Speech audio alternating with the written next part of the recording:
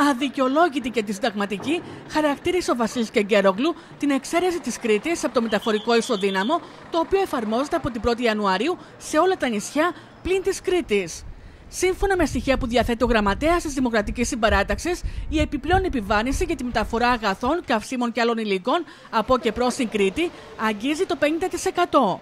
Το νούμερο, εμένα τουλάχιστον με εξέπληξε, είναι 1000 ευρώ η μεταφορά 20 τόνων για την Άρτα και για το Ηράκλειο είναι 1620. 500 ευρώ 25 τόνοι φορτίου για την Άρτα από την Αττική, για το Ηράκλειο 700 με 720. Δεν μπορούμε λοιπόν να αδρανούμε. Ο κύριος Κεγκέροκλου τόνισε την ανάγκη συντονισμού όλων των φορέων του νησιού για την ένταξη της Κρήτης στο μεταφορικό ισοδύναμο, ενώ τις επόμενες μέρες το επίμαχο θέμα θα απασχολήσει το Περιφερειακό Συμβούλιο. Άμεσα η κυβέρνηση να αλλάξει άποψη και να εντάξει και την Κρήτη στο μεταφορικό ισοδύναμο. Πολύ σημαντικό θέμα για να περνάει στα ψηλά. Δεν είναι ένα θέμα που με μια ανακοίνωση, με μια ερώτηση ε, του βουλευτή θα πρέπει να το αφήσουμε στην άκρη.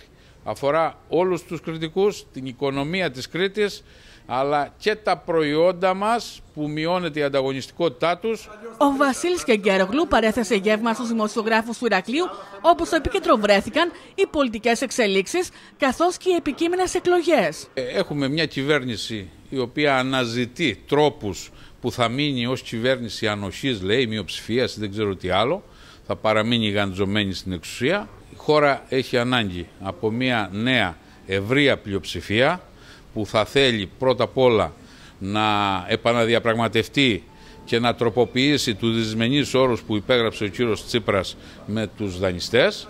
Ενώ ιδιαίτερη αναφορά έγινε στο Σκοπιανό αλλά και στις τουρκικές προκλήσεις. Καμιά κυβέρνηση που θα εξαρτάται, θα είναι υπομοιρία, δεν μπορεί να λύσει αποτελεσματικά ζητήματα, ούτε βέβαια να αντιμετωπίσει την προκλητικότητα των Τούρκων με τον πλέον αποτελεσματικό τρόπο.